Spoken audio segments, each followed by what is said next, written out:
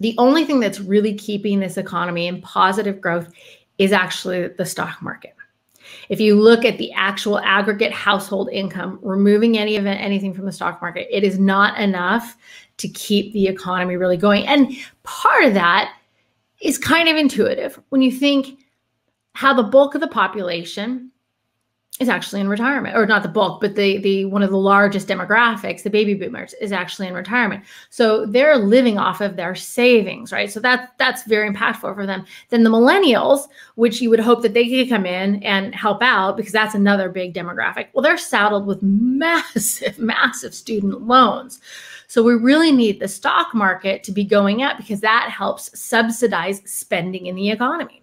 So we really have to keep this thing going